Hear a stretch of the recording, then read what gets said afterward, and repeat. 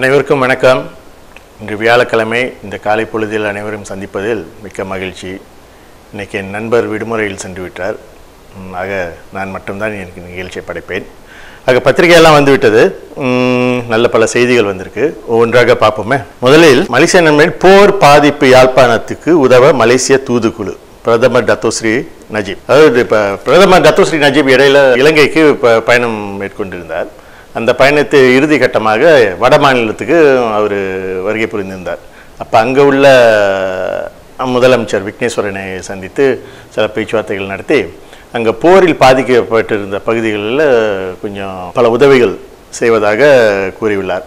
அதாவது போரில் வந்து ஏறக்குறைய ஒரு நாற்பத்தி ஆயிரம் பெண்கள் அவர்களுடைய கணவர்களை வந்து தனியாக வாழ்ந்து கொண்டிருக்கிறாங்க. அப்போ அந்த இடத்துல அவர்களுக்கு சில கடன் உதவி சில தொழில் பயிற்சி இந்த மாதிரி போன்ற உதவிகள் செய்வதாக கூறியுள்ளார். ஆக இது ஒரு நல்ல ஒரு முயற்சி. அவர்கள் வந்து அவர்கள் வாழ்க்கையை மீண்டும் இயல்பாக தொடர்வதற்கு இது உதவும் என்று நம்புகிறோம் ஸோ அது மலேசியன் நண்பன். அடுத்து தொடர்ந்து தமிழ் மலர். தமிழ் மலரில் பார்த்தோம்னா ஹலால் துறையில் மாலத்தீவுடன் ஒத்துழைக்க விரும்புகிறது மலேசியா. அப்போ இலங்கை பயணத்தை முடித்த பிறகு பிரதமர் அடுத்து தொடர்ந்து மா மாலத்தீவுக்கு வருகை புரிந்திருக்கார். மாலத்தீவு வந்து ஒரு இஸ்லாமிய நாடு. அங்கே வந்து இந்த ஹலால் துறை குறிப்பாக இந்த சுற்றுலா உணவு இதெல்லாம் மிக பெரிதாக வளர்ச்சி கண்டு கொண்டு வருது. ஒன்று என்னன்னு பார்த்தோம்னா இந்த தீவில் வந்து சுற்றுலா வந்து ஒரு பெரிய ஒரு துறை. உலக முழுதும் உள்ள பயணிகள் வந்து இதை இந்த நாட்டுக்கு அதிகமாக வருகை புரிகிறாங்க. அப்போ மலேசியாவே வியப்படையுது. இவங்களோட சுற்றுலாத்துறை வந்து அந்த அளவுக்கு வளர்ச்சி கன்று அப்போ மலேசியா என்ன சொல்கிறாங்கன்னா இங்கே உள்ள சுற்றுலா கம்பெனிகள் போய் அங்கே முதலீடு செய்து அதை இன்னும் மேலும் வளர்ப்பதற்காக பேச்சுவார்த்தைகள் எல்லாம் நடந்து கொண்டு இருக்குது ஆக இது வந்து ஒரு மலேசியாவும் மல்டிஃப்க்கும் உள்ள ஒரு நல்ல உறவை காண்பிக்குது. அடுத்து தொடர்ந்து தமிழ்நேசனை பார்த்தோம்னா இது ஒரு பரபரப்பான செய்தி நேற்று வெளியிட்டிருக்கு. இன்றைக்கு வந்து ஆர்கே நகரில் தமிழ்நாட்டில் ஆர்கே நகரில் இன்னைக்கு இடைத்தேர்தல் நடக்குது. இந்த வேளையில் ஒரு சர்ச்சைக்குரிய ஒரு வீடியோ காணொளி வெளியாகி இருக்குது. ஜெயா சிகிச்சை பெறும் வீடியோ வெளியீடு தமிழகத்தில் பரபரப்பு.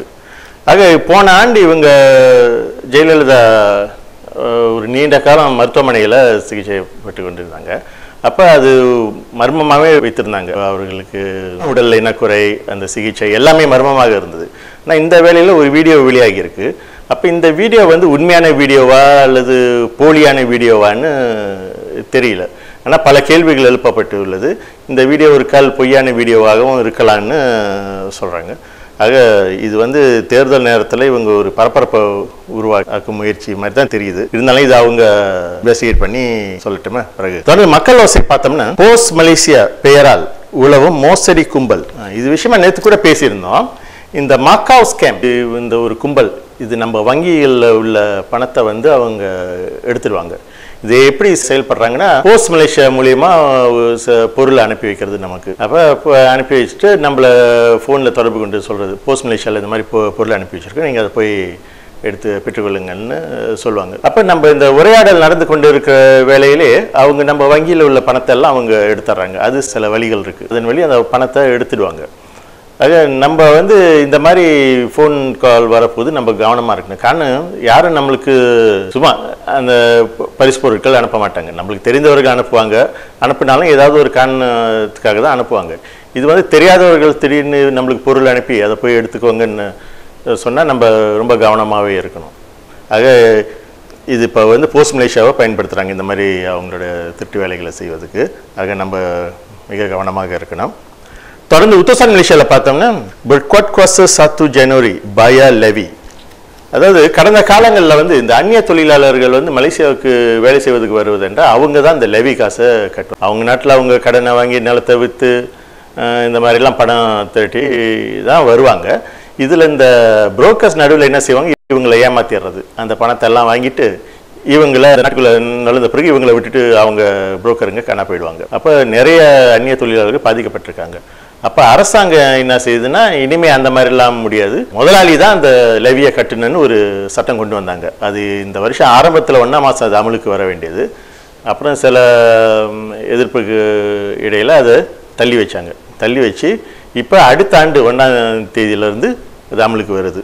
ஆக இது வந்து இந்த அந்நிய தொழிலாளர்களை இது ஒரு பாதுகாக்கும் முயற்சி. அப்போ இனிமேலும் அவங்க பாதிக்கப்பட மாட்டார்கள் முதலாளிகளே இந்த லேவியை கட்டிடுவாங்க. கட்டிட்டு பிறகு அவங்க சம்பளத்துல இருந்தெல்லாம் வெட்டிக்குவாங்க. இதுல என்னன்னா வர தொழிலாளர்கள் அவங்க பாதிப்படைய மாட்டாங்க. அது உத்தரசன் மலேசியா தொடர்ந்து ஸ்டா இது ஏற்கனவே ஒரு ரெண்டு மூணு நாளுக்கு முன்னே இது பேசப்பட்ட விஷயம் தான் லாயர் ஷட்டர்ஸ் ஹவுஸ் ட்ரீம் அதாவது இந்த லாயருங்க வந்து இந்த பணத்தை கையாள்வது. அதாவது இப்போ நம்ம ஒரு வீடு வாங்கினோம்னா பேங்க் என்ன செய்யும்? அந்த லோன் அப்ரூவ் பண்ணிட்டு அந்த பணத்தை வந்து லாயர்கிட்ட தான் கொடுக்கும். லாயர் வந்து அதை அங்கிட்டு டெவலப்பர்கிட்ட கொடுப்பாரு. இங்கே என்ன ஆகி போயிடுச்சுன்னா லாயர் வந்து அந்த பணத்தை டெவலப்பர்கிட்ட கொடுக்கறதில்ல. அப்போ அந்த மாதிரி ரொம்ப பேர் வீடு வாங்கிட்டு அந்த பணத்தை லாயர் டெவலப்பர்கிட்ட கொடுக்காத நேரத்தில் அந்த வீடு பூர்த்தியான பிறகு அந்த வீடு வாங்கினவங்களுக்கு அந்த சாவி கொடுக்க மாட்டேன்ட்டாங்க. டெவலப்பர் கொடுக்கறதில்ல. ஏன்னா அங்கே பணம் வந்து சேரல. அப்போ அந்த மாதிரி ஏறக்குறைய ஆறு லட்சம் வெள்ளிக்கு மேலே இந்த லாயர் ஏமாற்றிருக்கிறாரு ப- பல பேர் பாதிப்பு அடைஞ்சிருக்காங்க. ஆக இது வந்து அரசாங்கம் ரொம்ப கடுமையான நடவடிக்கை எடுக்கணும். காரணம் இது நம்பிக்கை மோசடி. அடுத்து தொடர்ந்து மிலைமையில் பார்த்தோம்னா வேர் இட் சீக் ஓவர் இமான் ஓ இமான்றது வந்து ஒரு காண்டாமிருகம் மலேசியாவில் வந்து இந்த மூணு தான் இருக்கு. இந்த காண்டாமிருகம் மூணு தான் இருக்கு. ஆக இடையில வந்து ஒரு காண்டாமிருகம் வந்து இறந்துடுச்சு. இப்போ மிச்சம் ரெண்டுல இந்த காண்டாமிருகம் ஈமாம்ன்ற காண்டாமிருகம் வந்து ரொம்ப மோசமான நிலையில் இருக்கு. அதோட உடல்நிலை ரொம்ப மோசமாக இருக்கு. ஆக டாக்டருங்க எவ்வளோ முயற்சி எடுக்கிறாங்க இதை காப்பாத்தின்னு இருந்தாலும் எந்த முயற்சி பலன் அளிக்காத மாதிரி தான் தெரியுது. அதோட நிலைமை நாளுக்கு நாள் மோசமாகிட்டு இருக்கு. அப்படி இந்த காண்டாமிருகம் இறந்துருச்சுன்னா அடுத்து மலேசியாவில் இந்த காண்டாமிருகம் இருக்காது. அதாவது இது சுமாத்திரன் ரைனோன்னுவாங்க. அங்கிட்டு பார்த்தோம்னா இந்தோனேஷியாவில் இன்னொரு கொஞ்சம் இருக்குது. ஆக இது ஏன் இந்த இப்போ இதோட பாப்புலேஷன் குறைஞ்சதுன்னா நம்ம இந்த வேட்டையாடுதல். அதோட கொம்புக்காக இதை வேட்டையாடுறது வேட்டையாடி கொள்வது அப்போ அந்த அதனால் இதோட எண்ணிக்கை குறைஞ்சி குறைஞ்சி குறைஞ்சி இன்றைக்கி ரெண்டு தான் மிச்சம் இருக்குது ரெண்டில் இப்போ இந்த காண்டாமிருகம் ரொம்ப மோசமான நிலையில் இருக்குது அப்போ இதுக்கு பிறகு அடுத்து மலேசியாவில் இந்த காண்டாமிருகம் முழுசாக இருக்காது. ஆக அதுதான் இன்னைக்கு பத்திரிகைகளில் வந்த செய்தி. இந்த நிகழ்ச்சியை மீண்டும் இன்று இரவு ஒன்பது மணிக்கு நம்ம காணலாம். மேலும் இணையத்தில் காணலாம். W W W dot sekal TV dot com அதே நேரத்தில் ஆப்ஸில் இதை நீங்கள் டவுன்லோட் பண்ணிக்கலாம் இலவசமாக பார்க்கலாம். மிக அண்மைய செய்திகள் எல்லாம் பார்க்கலாம். சினிமா விளையாட்டு அரசியல் எல்லா வகையான செய்திகளும் உள்ளது. ஆக அவ்வளவுதான் இன்று நான் நாளை சந்தி திசைகள் தொலைக்காட்சி. இது மக்களின் மனசாட்சி.